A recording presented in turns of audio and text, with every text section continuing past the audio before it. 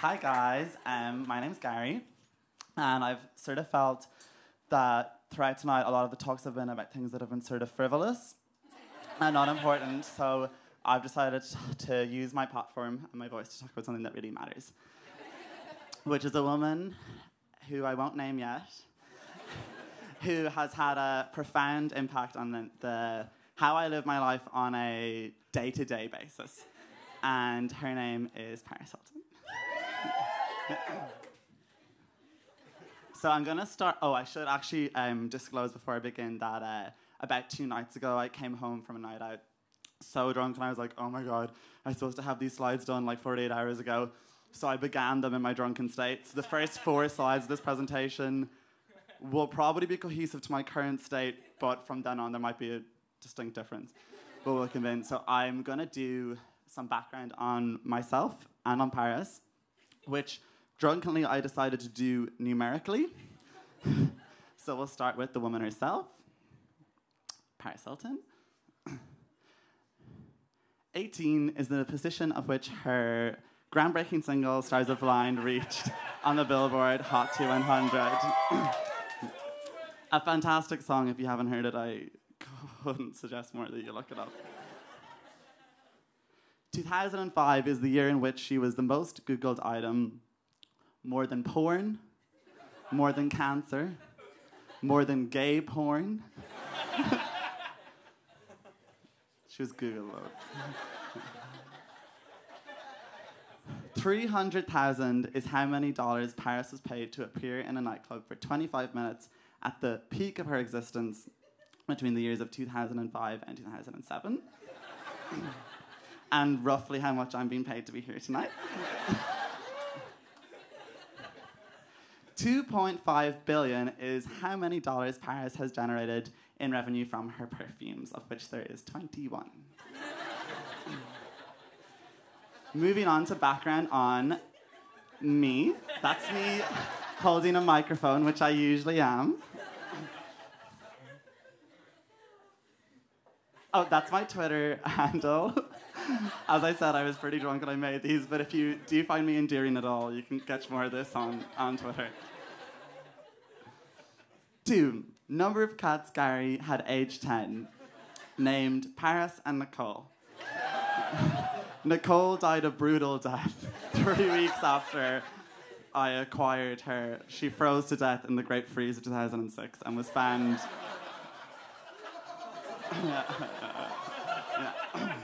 Paris lived on for a year and a half and then ran away suspiciously. 29. Number of people that have deleted me on Facebook in the last two years, approximately. Research into this figure is ongoing and has thus far been inconclusive, but if you have any ideas as to why this figure came to be after this talk, don't bother telling me because I don't really care. 49.99. How many euro Gary made his dad when I was 10 um, pay for a Paris Hilton fragrance as part of his mom's Christmas present in the year 2006?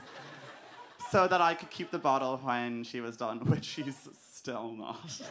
she still hasn't finished it. oh, how did that get in there?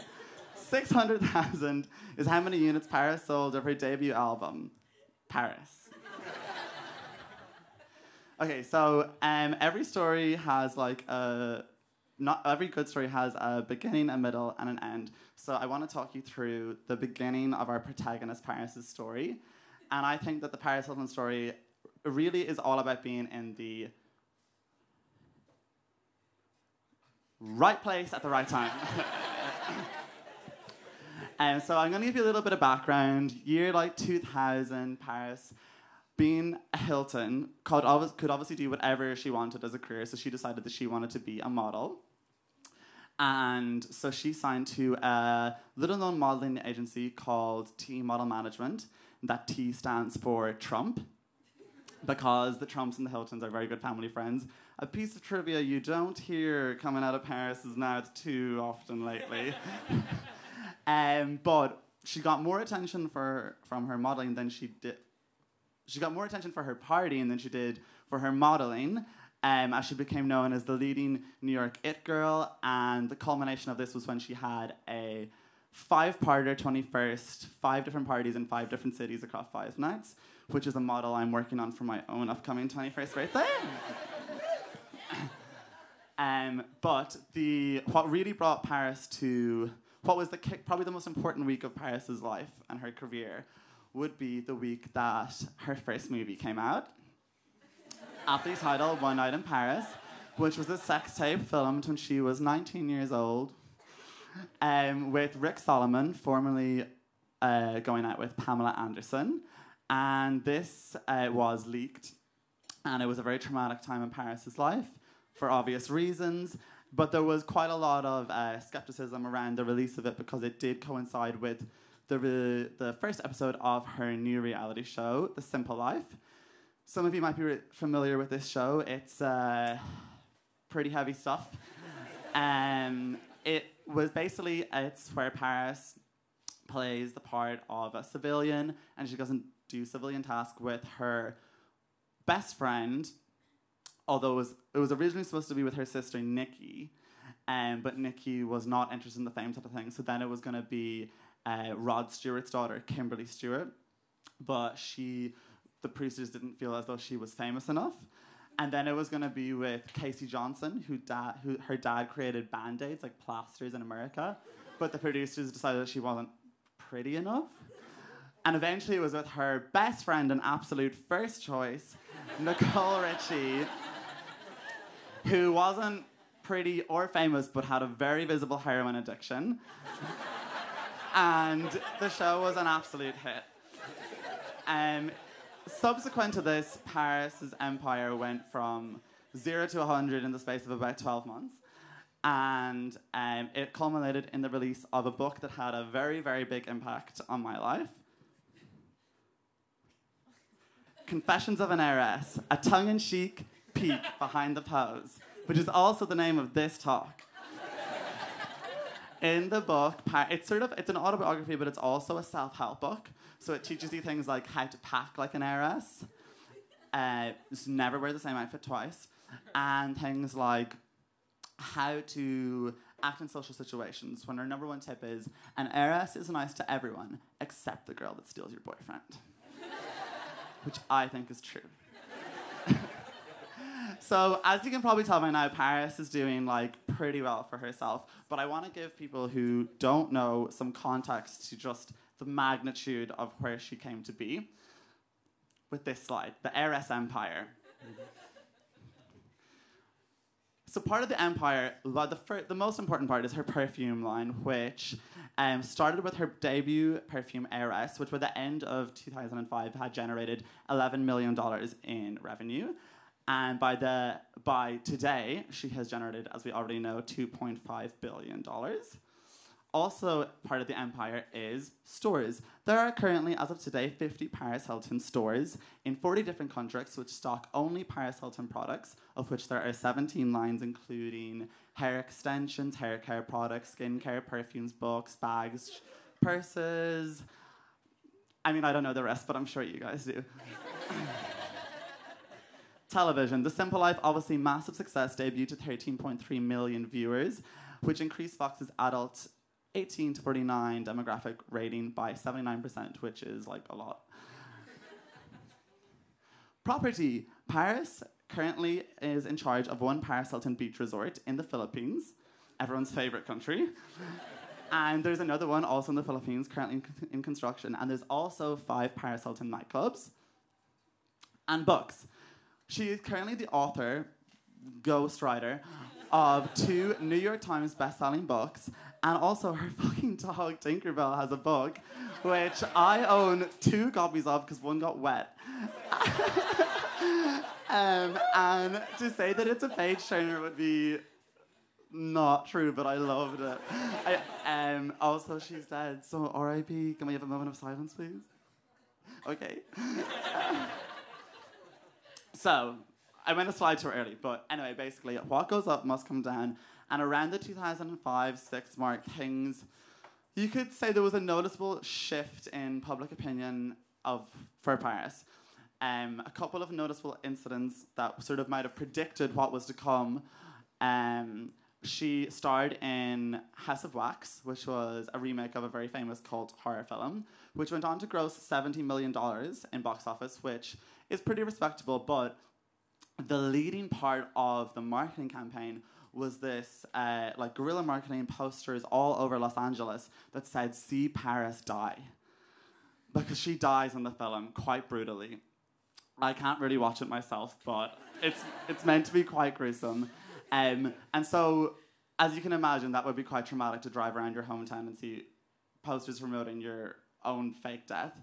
Also, this time, her debut album, Paris, stunning piece of work, was released. Um, and in the United Kingdom, um, Banksy, the graffiti artist, which you might be familiar with, he did this campaign where he produced basically an alternative version to her album and went, had a team around different stores all around the UK place his alternative version of the album in front of her album, but with the same cover and barcode, so fans would unwittingly buy his album, which in the inlay, her head was replaced with dogs, and it had a sticker that said, featuring the hit singles, Why Am I Famous? What Have I Done? if Banksy was here right now, I would ref- like revert to the previous slide there as Empire to explain exactly what, but he's not. Um, other bad things happened, but in my opinion, as an expert, there's two specific um, pinpoints as to where it all went horribly wrong for the protagonist of our story, Paris. The first of which was the 2007 arrest. This was a really dark time for Paris and her fans. A lot of people think that Paris was arrested for driving under the influence, but actually she was arrested because she had um, a suspended license and she signed an agreement to not drive anymore. And then, like three days later, she drove again, 70 miles per hour in a 45 zone. Which I just think is so funny because you can imagine her being like, Yeah, I'm not gonna drive. And then being like, Okay, I'll just drive us all home. so she gets pulled over and arrested and then in my opinion completely made an example of like she got she literally drove without a license and she got sentenced to 45 days in jail um, which was like sad and um, but in true paris form obviously the day before she had to surrender the day before any of us would have to surrender you'd obviously spend it i think you know reflecting on your life what decisions led you to come to here really having a slice of humble, humble pie Paris went to the fucking VMAs. she went to the VMAs. She got her hair done and surrendered a day early so that her fucking mugshot is the same hairstyle and makeup that she got professionally done for the VMAs. uh, long story short, went into jail, came out a day later for a medical condition and was put in house arrest. Then everyone was like, that's not gonna happen. Back in jail. There's all these famous photos of her bawling her eyes out in a the back of a police car, shouting for her mom. It was really sad, and that was sort of like the first, the first like major example of how things were turning sour for Paris. And the fir- the other like exhibit B of the demise of Paris Hilton is this bitch.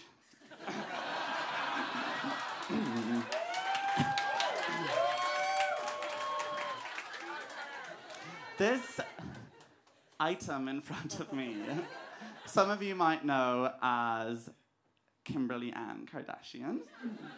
Her middle name's not Ann, but. um, anyway, so some of you might know, but some of you might not, that Kim Kardashian first came to fame because she was Paris Hilton's personal assistant and stylist. And she first became photographed because Paris had um, she had stopped being friends with Nicole Richie, um, supposedly because Nicole held a birthday party for Paris, and then at the birthday party aired her sex tape. Kinda gas. um, and anyway, so Nicole was out, Kim was in, and she, was constantly on Paris's arm, so she's been photographed. And then, as I stated at the start of this talk, Paris has laid the blueprint for the modern celebrity. And so, true to Paris form, she releases a sex tape, she gets a reality show, boom. Literally, there's this documentary called Famous Being Famous, which you can watch, and if anyone wants to do further reading on this subject, which you obviously do, um, you can watch. And it's if you want to watch it, follow the Twitter account Party Like It's 2007, and there's a link in the bio, and it just talks about how how Paris's fame falls at the precise same time Kim's rises, and you can actually see it like as the years goes by. All of Kim's first interviews are like, "Oh, so you're friends with Paris Hilton? Like, what's that like?" And as like as that goes up, all of Paris Hilton's Hilton's Paris Hilton's interviews are like, "Oh, you're friends with Kim Kardashian. Like, what's she really like?" It's really sad. Today, Kim has 42.7 million followers on Twitter, and Paris is like 13.3 ish. I know. I'm so upset about it. um, but anyway, so our story has reached a pretty dark point. Um, and obviously, as someone, I'm telling you this now, but I lived through this shit. Like, I was like 11 years old, bawling my fucking eyes out, like, reading her book again and again and again. So, basically, I know how you're feeling, which is probably something like this. okay, but fear not, because I know that you're probably like, oh my god, Paris is over. It's basically like stories ended for her. Well, you're wrong, because this is how many magazine covers Paris has been on in the last nine months alone in 2016, which is 17. Woo! Yes, love her, loves it. Um, she looks so good on all of these, and she's still really famous. Okay? But if that wasn't enough, I've provided a short slide which provides a few reasons why you should not feel sorry at all for Paris Hilton in 2016.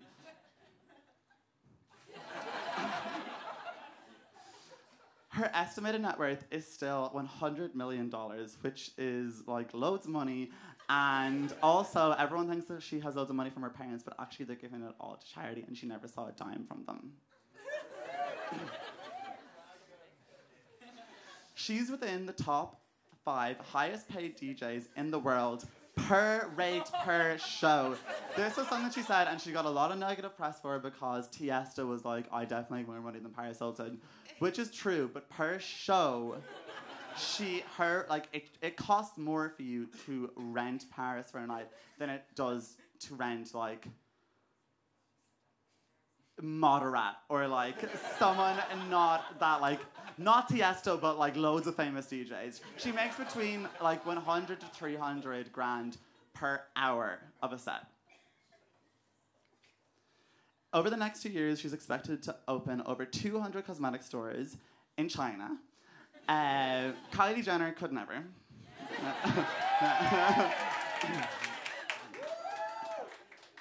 She will go down in history as the poster girl, epitome icon of famous for being famous. She has led the pack of Tara Reids and Nicole Richies and Lindsay Lohans all over the world, and fucking hell, I would die happy if that was me.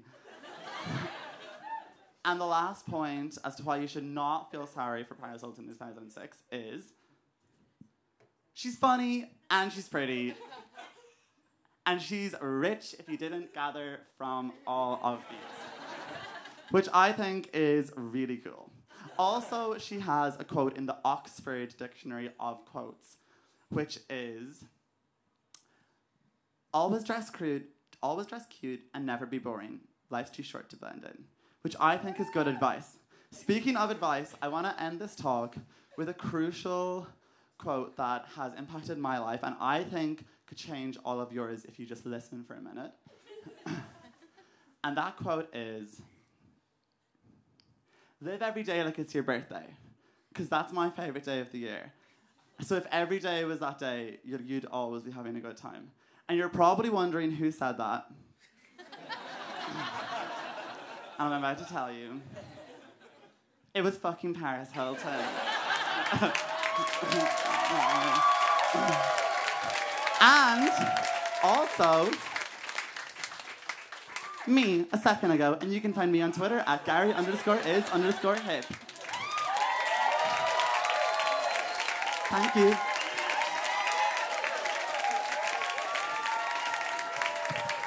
Get up for Gary Grimes!